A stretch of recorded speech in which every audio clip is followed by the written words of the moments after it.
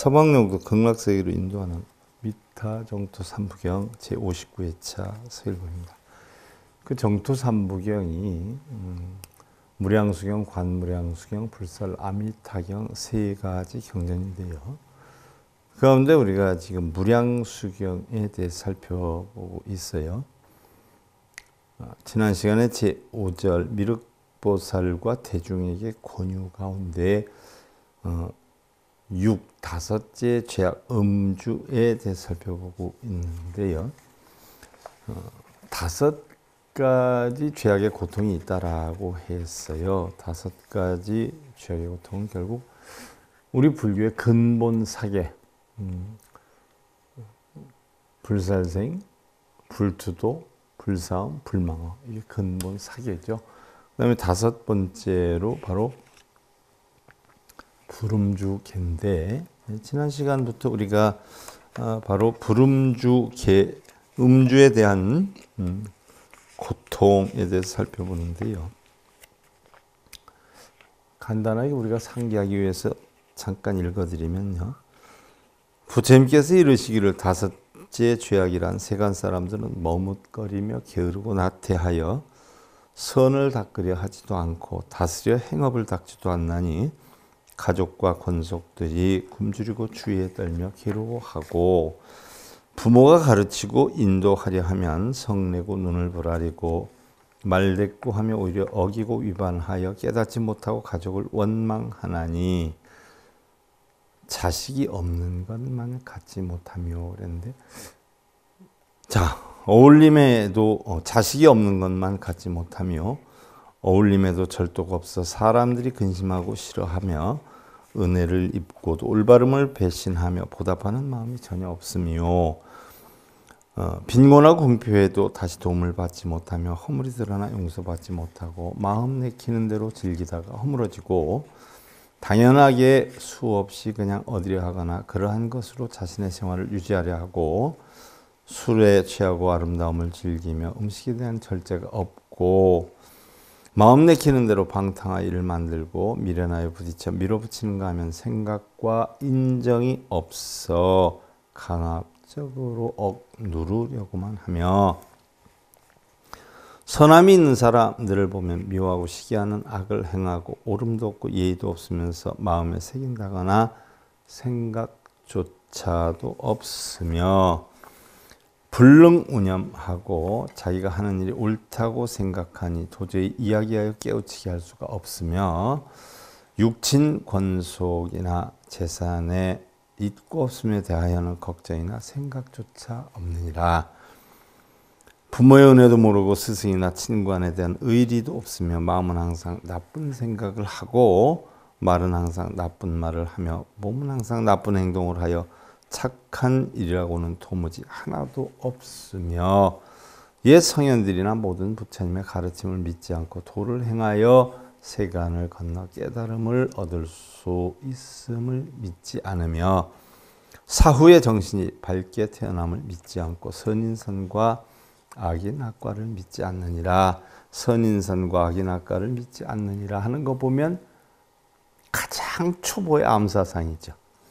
바로 극락과 지옥이 암사상의 가장 초보자들 아무것도 모르는 사람들을 불교에 귀하기 위한 방편으로 선인선과 악인악과를 설한 아함사상이에요. 말로는 뭐 우리가 대승경전이다라고 하지만 모든 것이 공하고 온이 공한 이치로서 전덕에 이르기 위한 그런 대승경전이 아니라 누구나 쉽게 아미타불 극락국토에 이를 수 있다라고 하는 관점으로 해설한 부분이란 말이죠. 진인을 해칠 생각을 하고 승려의 무리들과 싸우고 어지럽히며 승려들, 승려들끼리 싸우는 건 어떻게 해요? 부모와 형제, 현속들까지도 해치려 하니 육친들은 증오하고 미워하며 차라리 죽는 것을 바라게 되느니라. 이와 같이 세상 사람들은 마음의 뜻이 대부분 그러한데 어리석고 어두우면서도 자기는 스스로 지혜롭다 하고 삶이 어디에서 삶이 어디에서 와서 어디로 가는지 죽은 후에는 어디를 향하는지 알지 못하고 어디서 왔을까요? 어디로 갈까요?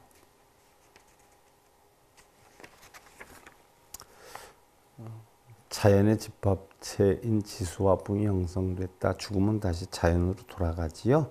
자연에서 와서 자연으로 가지요. 죽은 후에는 어디를 향하는지 알지 못하고 어질지 못하고 순함이 없으며 천지의 도리에 거역하나 그 가운데서도 유행을 희망하며 오래 살기를 바라지만 당연히 죽음으로 돌아가느니라. 이 내용들이 가만히 보면 아까 제가 질문을 했죠. 바로 회심곡에 나오는 그런 내용들이 많죠. 바로 우리 불교의 회심곡은요, 어, 바로 이런 정토 삼부경에 있는 글을 갖다가 맞춰서 해놓은 것들도 적지 않죠. 자비심으로 가르치고 타일러 착한 일을 생각하게 하고 생사와 선악의 방향에 대해 자연스레 있음을 열어 보여주려 하나 도무지 믿으려 하지 않고 고통스러운 마음의 원인을 말하나 그들은 전혀 들으려 하지도 않을 뿐 아니라 마음이 다치고 다른 곳에 뜻이 있으니 이해하거나 들으려 하지를 않다가 마침내 수명이 다하게 되어 뉘우치고 두려워 분주함이 일어나니 미리 선을 닦지 않고 급박함에 이르러서야 사방으로 후회를 하지만 후회를 해본들 여생이 다한 후에 어찌할 도리가 있겠는가. 천지간에는 지옥하기 죽생 인간 천상의 오도가 분명하여 오취지요. 육도 가운데에서 수라를 뺀 나머지 것을 오도 오취라 그래요. 그것은 참으로 넓고 깊고 미묘함이라 선악을 지으면 과보로 복고하를 받으며 자신이 지은 것은 자신이 받되 어느 누구도 대신해 주지 않나니 자업자득이죠.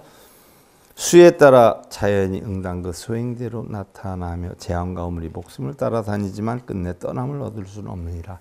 이 내용으로 보아서 바로 가장 우리 불교의 기초 사상인 아함 사상이 굉장히 많이 내재가 되어 있어요.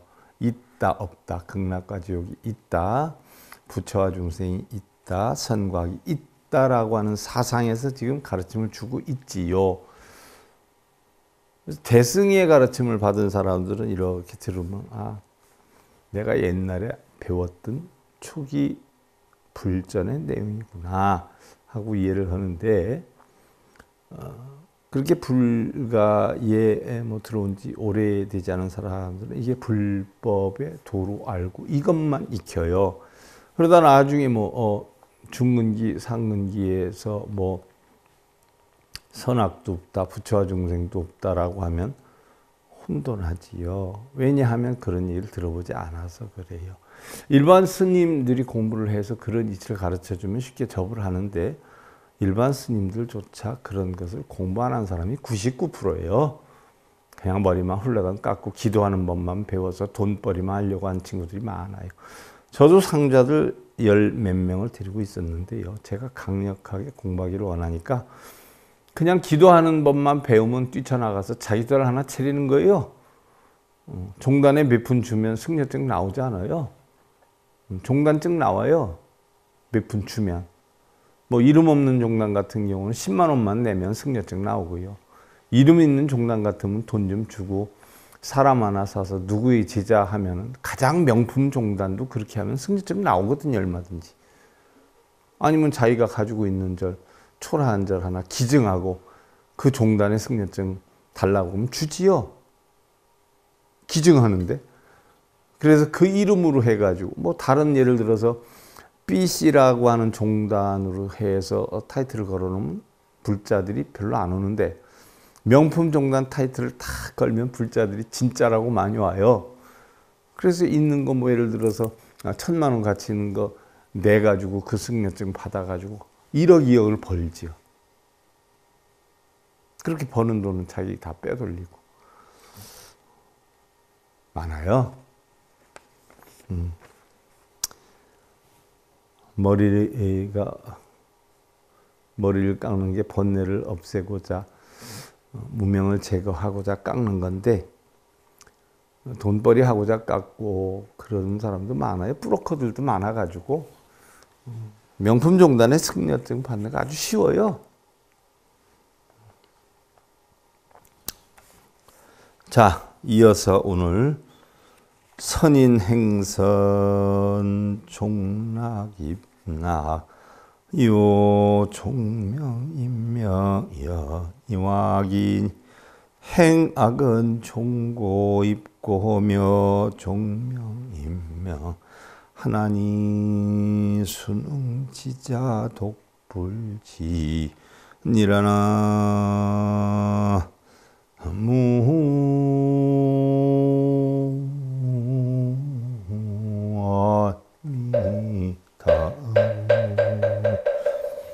선인은 선을 행하여 마침내 즐거운 곳에서 즐거운 곳으로 들고 밝은 곳에서 밝은 곳으로 들며 악인은 악을 행하여 마침내 고통에서 고통으로 들고 어두운 곳에서 어두운 곳으로 드나니 누가 이러한 것을 능히 아는가 오직 부처님만이 알아듣느니라.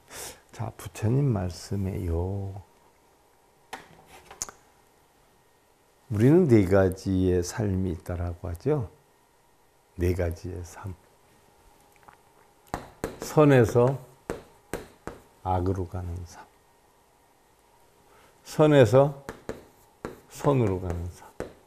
악에서 선으로 가는 삶.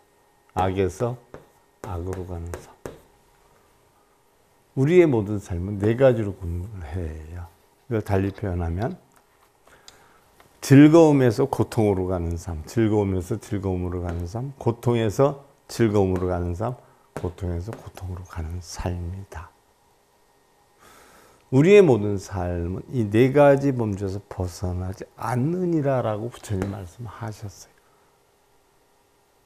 여기에서 선은 12분별 집착이 없는 삶이에요. 악은 12분별 집착을 해요. 부처님의 가르침은 12분별 집착망상이 없는데 불법을 배워서 뭐요? 그걸 가지고 장사를 해요. 이거 하면 뭐 복이 온다, 소원 성취한다. 악을 이용해서 돈벌이에 빠져요.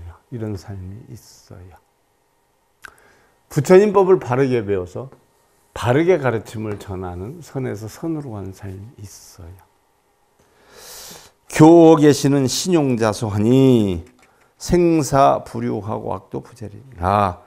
가르침을 말로써 여러 보이지만 믿고 움직이는 자는 적으며 생사는 멈추지 않 악도는 끊어지지 않느니라. 생사법을 가르치는 거예요. 생사법이 어떤 법이에요? 생사법? 이거 하면 복이 많이 와. 시주해. 조그만 부처님 뭐, 한 몇백만 원씩 받고 절에다 이렇게 해서 모셔놓으면 7 대가 잘 돼. 이거 다 생사법이에요. 다 악법이에요. 사이비법이에요. 무당 출신들이 그거예요. 아니, 나는 조그맣더니 꽤 많이 늘려놨더라고요. 또그 부칙해서 방송국에서 봐 얼마 한 시간 하는데 얼마 내고 해야 그럼 돈벌이 잘 되잖아. 그래서 좀 돈 더 받아내려면 뭐라 그러면 또 비밀리에 또 뭐 몇천만 원, 1억씩 갖다가 슬쩍슬쩍 뒷주머니 넣어주고 방송에 나오게 하고 많잖아요.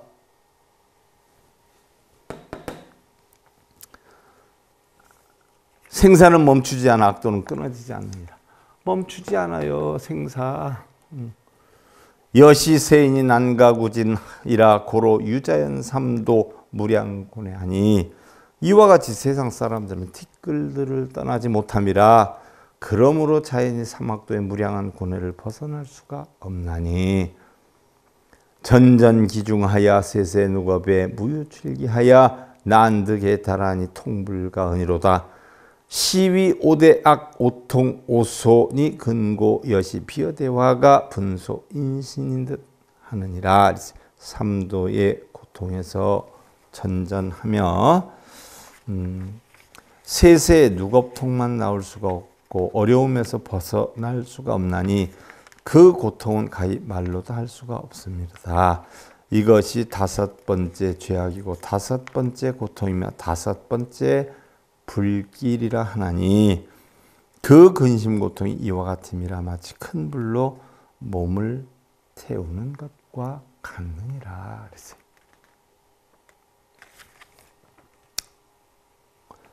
12오대악, 5대악이라는 얘기예요.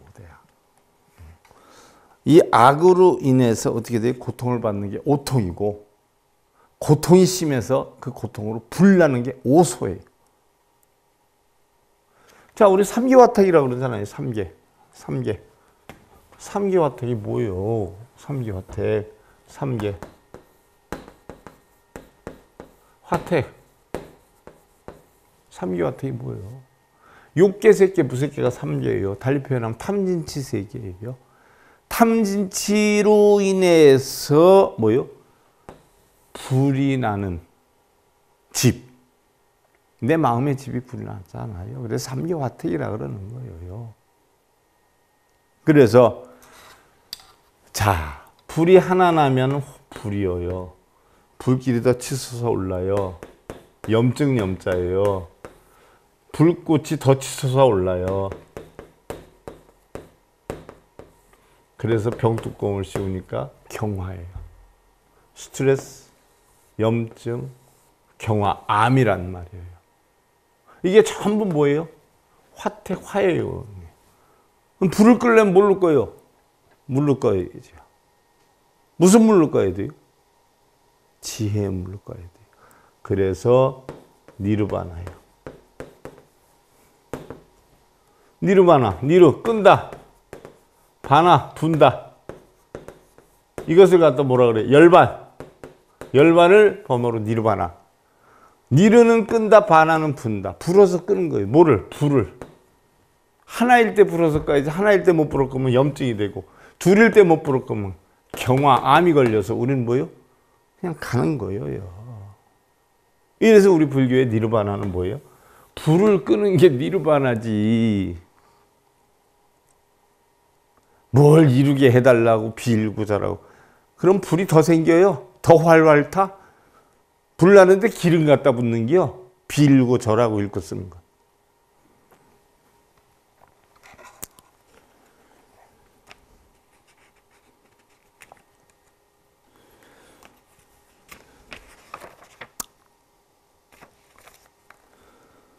인능어 중에 일심체의하여 단신정행하며 독작 제설하고 불의중학자는 신득도탈하여 획기복독하고 도세상천 니원지도하니 시위 오대 성향이라 사람이 능히 그러한 가운데서도 마음을 다스려서 몸을 단정히 하고 바른 행을 하여 스스로 노력하여 모든 선을 닦고 악을 범하지 않으면 자 여기에서 선을 닦고 악을 범하지 않으면 선은 바로 뭐예요? 시비 분별하고 집착하고 육군이 경험을 보고 일어나서 모든 생각에 나와 내 것을 만들면 이게 바로 뭐예요? 악이에요. 그런 것을 하나도 없애면 이게 뭐예요? 선이에요. 그래서 스스로 노력하여 선을 닦고 시비분별 집착망상에 떨어지지 않는 선을 닦고 악을 범하지 않으면 시비분별 집착에 빠져서 뭐가 이득이다 손해다 이렇게 하면 복이 온다 저렇게 하면 복이 온다 이거 악이에요 악 악을 범하지 않으면 몸이 스스로 어려움에서 벗어날 뿐 아니라 그러한 복덕으로 세상을 건너 열반의 길을 걷게 되나니 니르바나의 길을 걷게 되나니 이것을 다섯 번째 큰 선이라고 하느니라. 자, 법구경 범지품에 나오는 이야기요. 적피 무피여 피피이공이라 사리 탐험 시위 범진이라. 어디를 가거나 분별이 없으며 분별 신망사 악이죠. 악이 없으며 이것저것 모두를 다 비우고 십윤별 집착을 다 버리고 비우는 거 선이죠. 음욕과 탐욕을 버리고 떠나니 그런 일을 일러서 범지라 아니라 사유무고 소행불로 상구불기 십이범지요. 때가 없기를 늘 생각하고 때 몸의 때 마음의 때 무슨 때? 마음의 때지요. 마음의 때 탐진치. 없기를 늘 생각하고 행하는 일에 번뇌가 없으며 번뇌는 왜 생겨요? 탐진치심으로 생겨요. 더 구하려는 마음을 일으키지 않느니 그런 일을 일러서 범지라 하느니라. 절에 가보세요, 여러분들. 뭐 밑사람이 같이 절에 다니는데 누가 쌀한 말을 딱 올렸어. 그 옆에 사람 다음에 갈때한말 반을 올려요. 또 그 옆에 사람이 뭐 두 말을 올려요. 그것도 경쟁이야. 초를 갖다 이만한 걸 샀어요. 그럼 다음에 갈 때 더큰걸 사요. 그렇게 가가지고 또 누가 108배를 했어. 그럼 지도 108배 해야 돼요. 거기다 이제 욕심이 생겨. 저 사람도 108배 하는데 나도 108배 하면 복이 똑같이 올 거 아닌가? 예, 속으로 가만히 있다가 우리 가자 하고 가. 가서 어, 나볼 일이 있어서 바쁘니까 우리 여기서 헤어지자 해가지고 절로 기업등으로 갔다 다시 절로 들어와서 108배 더 하고 가. 쯔쯔 쌀을 올려도 꼭 법당 가운데 올리려고. 초향을 켜도 다른 사람이 키고 있으면 배가 아파서 향콩 눌러서 뒤집어 꽂아놓고 지껏 키고. 초 잘 타고 있는데 이렇게 해서 꺼가지고 또 자기 초 키고. 이게 불자여, 도둑놈이여, 마군이여, 악마여. 그런 마음을 보고 배우는 자식들이 잘 되겠어? 뭐가 되겠어? 에이그. 별을 보려면 어둠이 꼭 필요하듯이 세상은 사람들에게 다시 일어서는 법을 가르쳐 주기 위해 실패를 만들어 준다. 실패? 좌절? 왜 만들어 주는지 가만히 생각해 봐요. 왜 밤이 올까? 달과 별을 빛내주기 위해서 밤이 찾아와요. 왜 어려움이 올까? 더 큰 성공과 행복을 주기 위해서 실패가 찾아와요. 또한 연잎은 자신이 감당할 만한 빗방울만 싣고 있다가 그 이상이 되면 미련 없이 비워버리듯이 우리도 적 당한 아픔을 겪어야 다시 일어설 수 있는 방법을 배운다. 항구에 있는 배는 안전하긴 하지만 배를 항구에 두기 위해 만든 것이 아니듯 우리의 삶도 행복만을 추구하기 위해 태어난 것은 아니다. 우리의 삶이란 어떠한 일이 생기느냐에 따라서 결정되어지는 것이 아니라 바로 자신이 어떠한 의지와 노력을 하느냐에 따라 달려 있는 것이고요. 또한 우리는 자신이 행복해질 수 있다라고 생각하는 만큼 행복해질 수 있지만 행복이란 바로 자신의 마음을 비우고 버리는 만큼 채워줄 수가 있다. 칸트가 그랬죠. 우리는 누구나 행복을 찾는 건 너무나 쉽다 그랬어요. 너무나 쉽다. 행복을 찾지 못하는 가장 큰 이유는 자기만의 행복을 추구하는 것이 아니라 남에게 보이기 위한, 자랑하기 위한, 으스대기 위한 그런 행복을 찾으려 하니까 그런 행복은 죽을 때까지 찾을 수 없다라는. 자기만의 행복을 찾는 건 잘 찾아요. 꼭 모여요. 아들이 부모님 생신이라고 반지 하나 해다 줬어요. 얼마나 신이나? 그래서 반지를 탁 꼈는데, 금반지를 탁 꼈는데, 집에 가만히 있어요? 전화부터 돌리는 거예요. 문자부터 돌리는 거예요. 아, 글쎄, 있잖아. 우리 아들놈, 그놈. 아, 내 생일이라고 반지 하나 해줬네, 글쎄? 그래서 문자 죄 돌려, 전화 죄 돌려. 이제 뽐 좀 냈어, 자랑했어. 그리고는 어떻게 돼요? 나가. 그래서 좀 친하거나 가까운 사람에게 가서 자랑하려고. 어. 이거 봐, 이거 봐. 이거, 이거, 이거 봐. 어때? 모양이 어때? 아, 이쁜데? 어쩐데? 아, 이거 우리 아들님이 나 생일이라고 해다 줬어. 글쎄. 아, 그래도 그 큰 노릇 했어. 뭐 새끼 뭐헛 키운 게 아니네. 하면서 자랑을 해. 엄청 뽐을 냈는데 그 집에서 아 이쁘다 너무 이쁘네 하면서 뭐요? 그래 얘기 나온 김에 하면서 가서 장롱을 막 뒤지더니 들고 나오는데 반지, 목걸이, 팔찌 들고 나오. 말이 나왔으니까 말이지 우리 집에 얼마 전에 결혼했잖아. 근데 나 생일이라고 해가지고 며느리하고 그때 둘이 맞벌이 하는데 돈을 벌어가지고 요번에 이렇게 반지하고 팔찌하고 목걸이하고 해왔네? 어때? 아, 이쁘다. 그 순간부터 반지 하나 자랑하러 갔다 가 뽐 좀 내려고 했다가 배가 들이 꼬이기 시작하고 목이 답답해서 찬물 없냐고 찾다가 그냥 몸이 비비러지고 뒤틀어지고 열이 받기 시작해가지고 아 그래 나 볼 일이 있어서 갈게 하고 튀어나와요. 그때부터는 꼬이기 시작하는 게요. 뽐 좀 내고 자랑하러 갔다 가 오히려 그 집은 반지 목걸이 귀걸이 해줬다라는 소리에 놀래가지고 가슴이 비틀어지고 찢어지고 소화도 안 되고 그리고 나선 그 아들 며느리한테 전화를 야 반지를 해준 아들 며느리한테 야 친구네 집 가니까 거긴 지엄마 생일이라고 반지 목걸이 팔찌까지 해줬더라. 아 어떻게 너희가 그럴 수 있어? 물론 너무 고생은 하고 애는 썼지만 반지 하나가 뭐냐 반지 하나가 에이 내가 며느리를 잘못 얻어들인 건지 하면서 전화 탁 끊어요.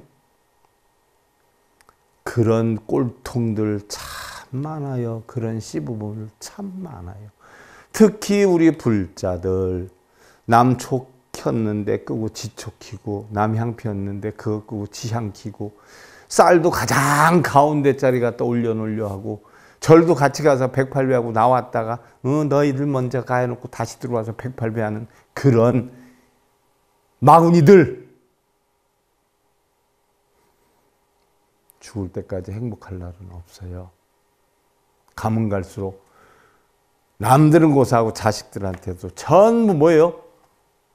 왕따 당해가지고 양로원, 보호시설 그런 데만 가도 다행이요. 그런 데가 있을 돈도 괘씸해서 안 줘요.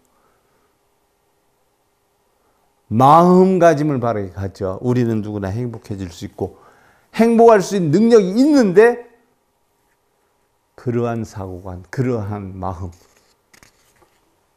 절에 가서 그런 거 다 없애라고 했더니 기껏 절에 스님들이 몇 배를 하면 뭐가 생기고 요번에 불사를 하는데 몰래 뭐가 생기고 제발 속지 말고 다녀. 뭐가 생길 것 같으면 뭐 그 스님이 가르쳐 줬겠어? 지 혼자 다 하지? 말도 안 되고 소도 안 되는 짓거리 그만하러 다녀. 자, 여기까지가 여섯 번째, 어, 다섯째 죄악 음주에 대해 살펴봤고요. 시간이 애매해서 제가 그 얘기를 해줬는데 다음 시간은 일곱 번째 부처님의 거듭 권유에 대해 살펴보는 것으로 하고요. 오늘 미타 정도 3부경 제 59회차 서일봉이었습니다.